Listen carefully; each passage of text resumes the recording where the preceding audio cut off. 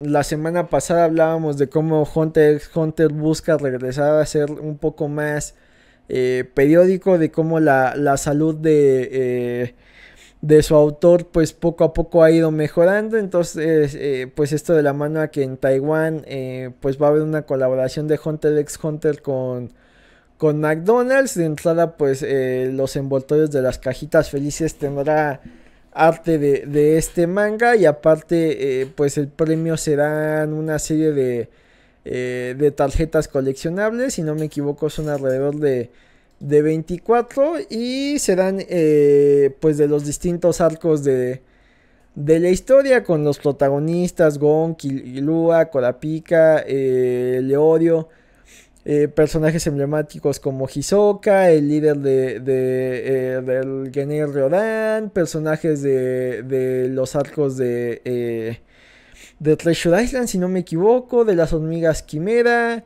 personajes del Gener Ryodan y, y, cazadores famosos, personajes de la familia Zodiac, el papá de, de Gon, entonces...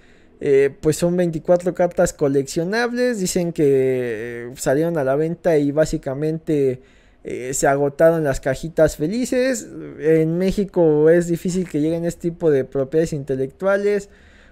poco a poco se han ido destapando. Hemos tenido colecciones de Pokémon, hemos tenido colecciones de Yu-Gi-Oh! crossover con Hello Kitty. Entonces, pues Ojalá algún día veamos algo de esto pues de, de este lado para tener un pretexto para comernos una hamburguesa bien chiquita y bien cara.